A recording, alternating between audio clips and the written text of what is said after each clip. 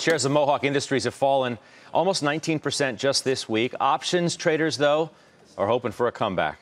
Jon Najarian at the Telestrator, are they going to get it? Jon, that's the question. I think so, Judge. But the telling part here is what expiration they're buying. Because there's a lot of information in an option trade, of course, that is not available to stock investors. So, for instance, with the stock rallying today almost $4, they're betting on the long term rise out of Mohawk. How do I know that? The expiration's November. They were buying November 200 calls. They paid $4, which is $400 per option for each of these they bought. But as you can see, they traded about 5,000 of these. That's a big trade and they're giving it a lot of time to be right. Stocks in the 180s, but they're saying over 200 in November. Second trade, take a look at Arconic. We talked about this one yesterday. They're also giving themselves a little more time because they're picking October as a time frame here. So Arconic down 7% today. Blackstone, uh, along with uh, Apollo, rumored to be interested. Somebody wants exposure. They buy the October 22 calls. Again, both cases